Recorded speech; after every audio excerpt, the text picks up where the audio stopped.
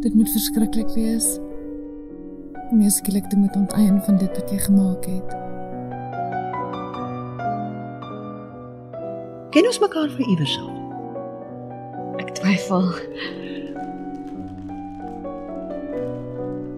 Mag ek daaraan raak? Natuurlik is immers byna joune.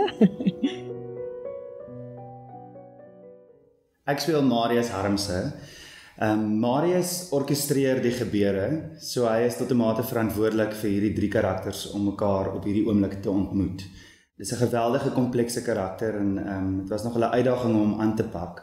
Maar ek dink Wessel het geslaag daarin om drie volronde uh human beings vir ons te skep om mee te werk.